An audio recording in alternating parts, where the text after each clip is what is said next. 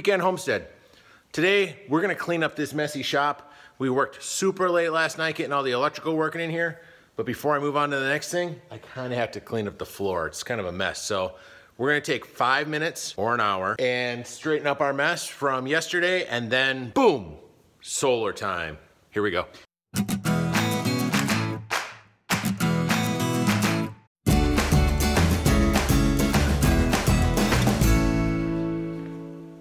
Right, now that we got it all cleaned up, let's get on to our solar project. So what I figured out was if I have a single solar panel up on the roof, 100 watt, and I have a 125 amp hour battery, that will fire up and control and run this entire system for a whole weekend. Plus, it'll give us the ability to charge phones, DeWalt, all that kind of stuff off of uh, the system. You know, kind of low power consumption type stuff. If I need to, I've got the generator. We can fire it up if I need to run a table saw or chop saw, but right now it's kind of light. Let me show you kind of what I'm thinking of doing here. So what I ended up getting was somebody gave me this 400 watt power inverter. It's just a little guy, basically uh, real simple, small, um, has two outlets on the side and a USB. We're only gonna use one of the outlets. So we have our regular light switch here. We have an outlet right there. And of course our lights up on the ceiling across the way. And it all comes down to this one switch here, which is kind of the master on and off switch for the system. And all the way down to a plug. So what I plan to do is this plug will plug into this inverter, which will be mounted on a panel right here.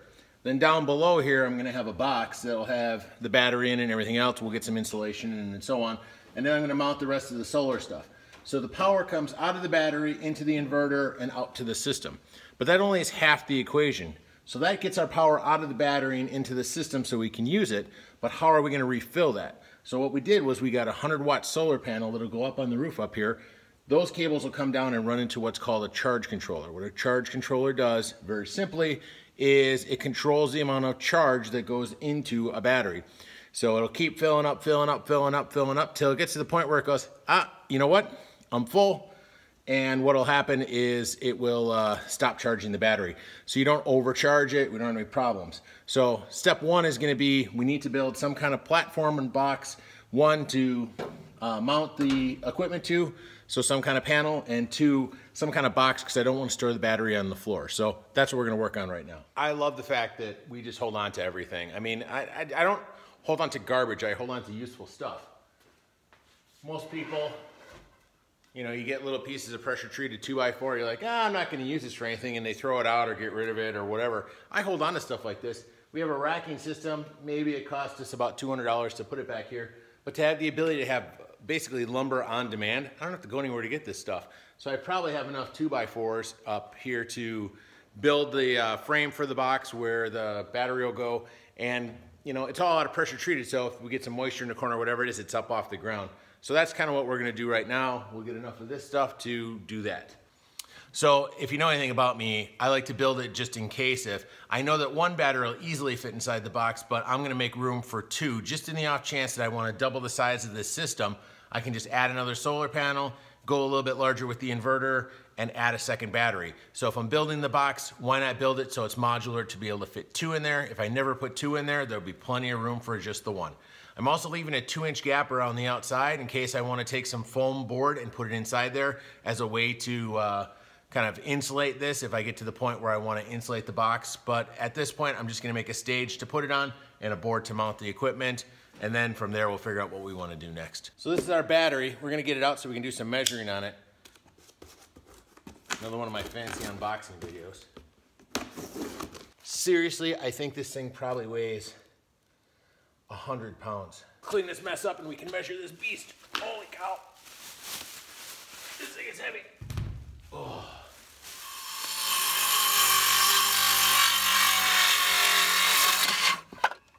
Definitely not a master carpenter, but hey, it works.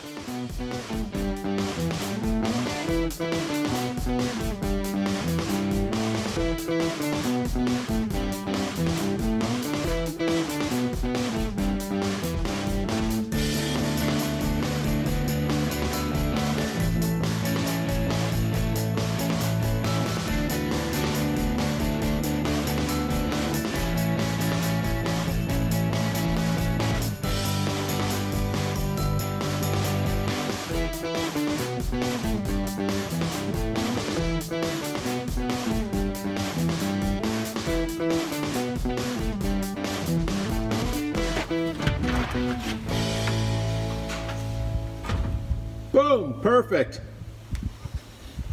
Alrighty, so I got my battery up on the platform. Eventually we'll build a box around that.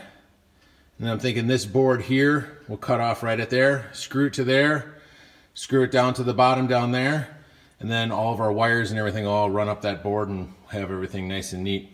Just so you know, this gasoline here is just here temporary. This is actually gonna move out of here. I don't really feel comfortable having the, that next to this, but for right now, it's just gonna sit that way, but we'll move it later.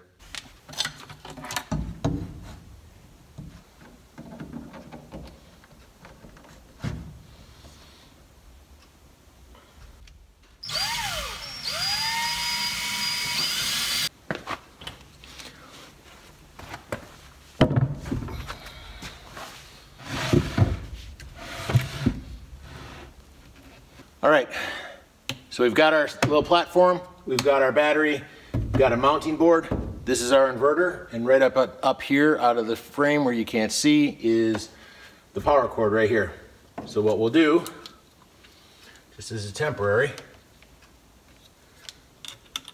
hook up the negative, hook up the positive. I jump every time. Let's see.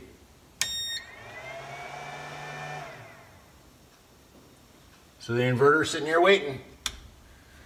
Let's plug this in. The moment of truth.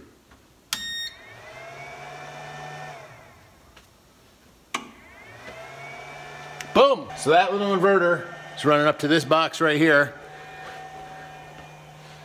You can't see it because we're in the daytime, but all of our light switches work. Here.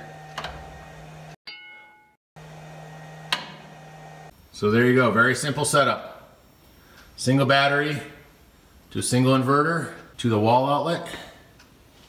It runs over to our light switches when we hit the switches on.